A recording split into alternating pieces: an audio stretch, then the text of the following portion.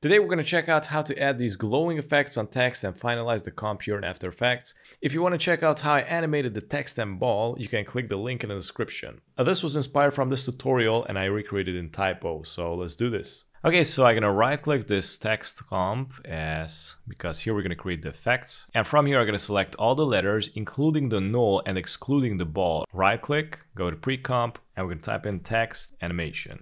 Click OK, right click here, go to new, select a solid, and I'm gonna go with a lighter blue, click OK, and I'm gonna rename it as background, click OK. Drag the background under the text, select the text, and here we're gonna go to the effects and presets, type in fill, drag and drop the fill on the text and here we can recolor it. I'm gonna make this really nice blue color. Click OK.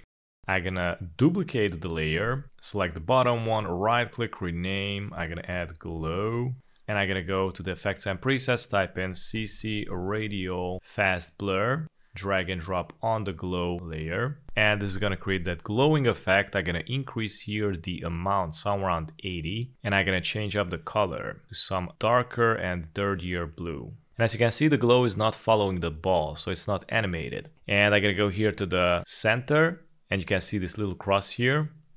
And if I bring it here, for example, so the glow starts from here. So I'm gonna select the cross and we're gonna go here to the ball center. Click perfectly to the center. And now I'm gonna go to the text animation glow, open it up. Open up the effects. We're gonna go to the CC radial fast blur, select the center here. And we're gonna pick whip and we're gonna pair it to the ball's position like that. And now you can see it is following the ball. Great, I'm gonna collapse it. And now we're gonna need to create a glowing effect, which is gonna illuminate the text. So I'm gonna select the text animation, press Ctrl D to duplicate, right click, rename, text glow.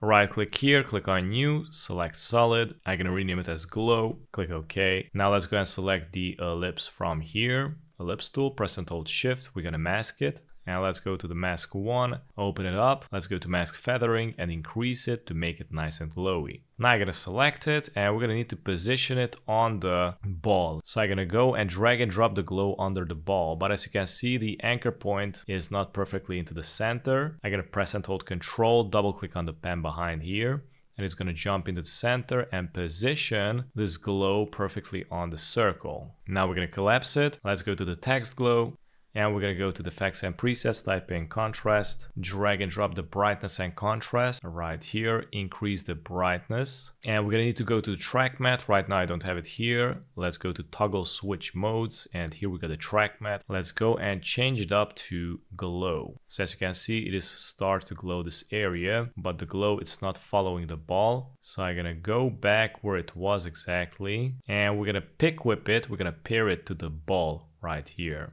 and now it is following the ball and is creating this really cool glowing effect. And not but least, we're gonna add that text stroke. So I'm gonna go to the text animation, double click and select all the letters with the null, press Ctrl C. We're gonna go to the text effect, click on the ball, press Ctrl V, deselect, press and hold Shift, select all the letters. Let's go to the properties here, uncheck the fill, check the stroke, and I'm gonna go and decrease it to 0.06. Now select the null and I'm gonna reposition it somewhere here. And we're gonna need to animate the stroke a little bit differently to make it more dynamic. What I'm gonna do is select all the letters, press the letter U to highlight the keyframes, and here I'm gonna select the keyframes and move them a little bit and customize them to make the strokes come alive.